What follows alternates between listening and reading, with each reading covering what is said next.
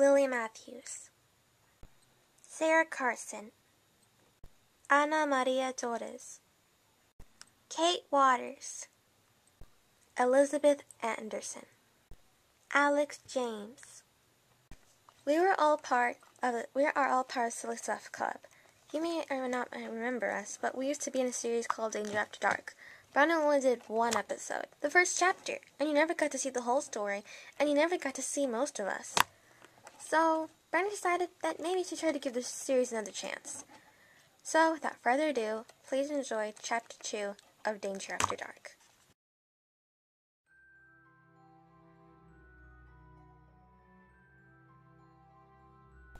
By 2 o'clock, everybody had assembled for a special crisis meeting. The meeting will now come to order. Lily counted off all the members in her head Sarah, Kate, Elizabeth, Alex, Anna Maria, and herself, Lily, lifetime president of the Silly Stuff Club. The Silly Stuff Club was a group of friends who collected things like old phonograph records, though they didn't have a machine to play them on. They met weekly to have their show and tell for girls only. They met in the Carsons' carriage house, which led Lily to today's emergency meeting agenda. Sarah's family was moving to Chattanooga, so by the end of the summer, the club would be without Sarah and minus one clubhouse. But your parents can't move away, just like that. Ugh. Just tell your daddy you won't go to Chattanooga. Slam your door and refuse to come out until he swears on his grandmother's grave not to drag you off to Chattanooga. My parents won't notice anything less than a category for a hurricane. I'm not an only child like you. Pooh. Don't you know how to pitch a hissy? Throw a window rattling, door slamming, refuse to come out of your room for three days tantrum? Lily's five friends had been in the Silly Stuff Club since her, with her since third grade. Today they stood, squatted and sprawled among the trunks, boxes and chairs that they dragged into the small carriage house over the past three years. What will we do with all our stuff? Isn't your sister going to college?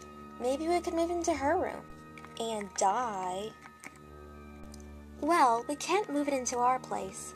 Dad and I live in a townhouse, and there's barely room for three tetra, tiny, tiny tetras and two black mollies.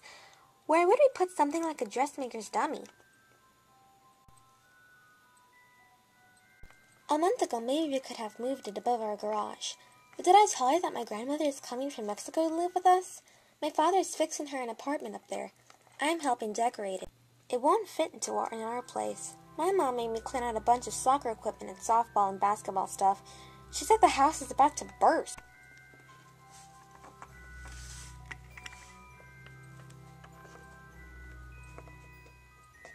Honestly, no.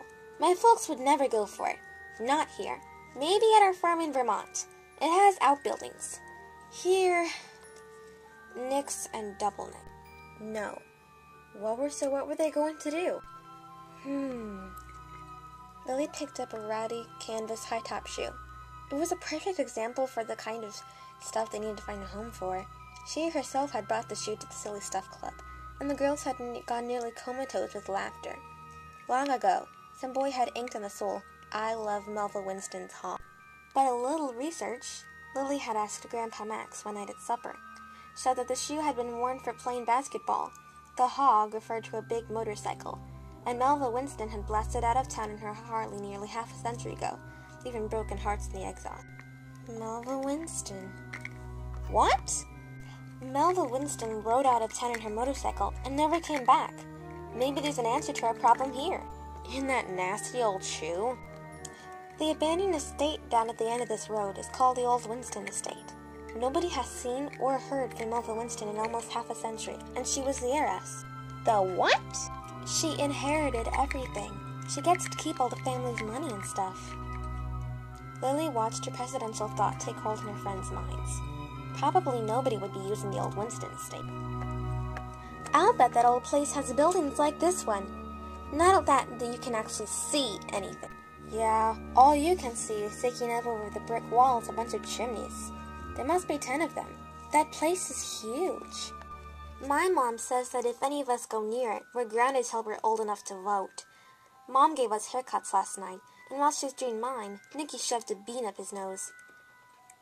Tell me the truth. How bad does it look? Hmm. Lily couldn't think of anything presidential to say, so she was glad when Elizabeth piped up with a suggestion to take Sarah to do her hairstyle. She charges heaps, but oh well. what are friends for, huh? We can't go around looking like somebody has been hacking at us with kindergarten scissors. Back to the old Winston estate. That gate has more keep out signs than my brother's bedroom door. We couldn't possibly move the club there. We could just go look at it, just for fun. It wouldn't hurt to look. Think of the privacy we'd have there. Think of the trespassing we'd do there. Could be really, really dangerous. You don't know what's on the inside of the wall. Plus, my mom says I can't. But you're moving away. Oh, I didn't mean it like that.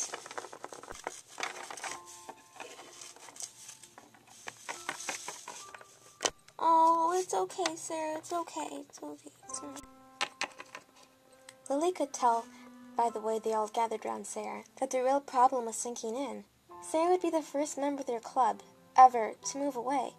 If she was gone, who would write poems for their birthdays and little club essays to celebrate special occasions? Mom says I'll make new friends, but I don't want new friends. I just want my old ones. Everything would be different without Sarah. And it hit Lily for the first time that the Silly Stuff Club wouldn't really last forever, like their bylaws said, and she wouldn't really be president for life. So I hear a motion that this meeting is adjourned. It's okay, honestly. Emily every day.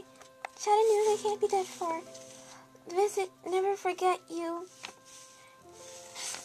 Not moving until the end of summer anyway. Have two home months. A second. Meeting adjourned.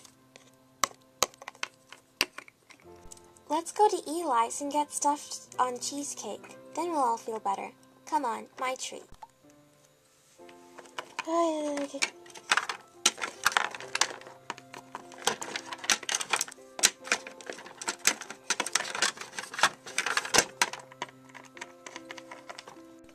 As she pulled the door closed behind her, Lily glanced at their huge collection of stuff.